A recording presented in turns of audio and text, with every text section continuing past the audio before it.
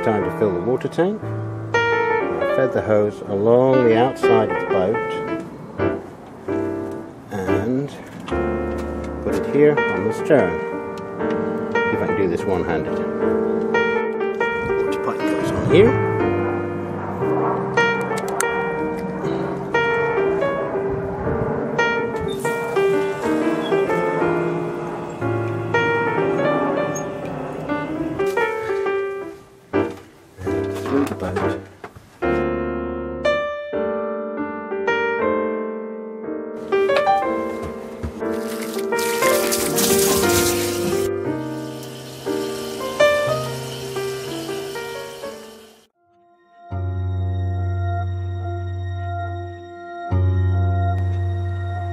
Not everything on the riverside goes to plan.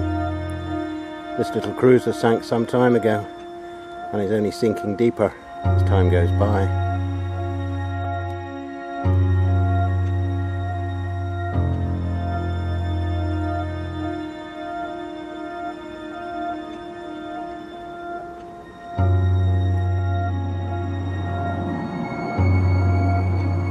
The canopy was up at some point, but since then it's been swept away by water or people or whatever.